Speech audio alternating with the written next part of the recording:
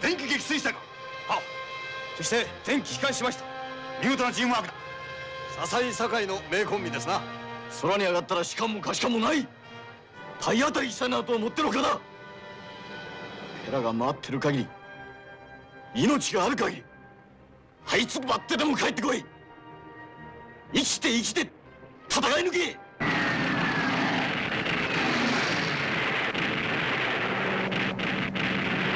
戦地のことでございます。覚悟はいたしておりました。酒井さんの烈気についていたら絶対に戦死しない。弟の言ってた言葉を。私は今でも忘れることができません。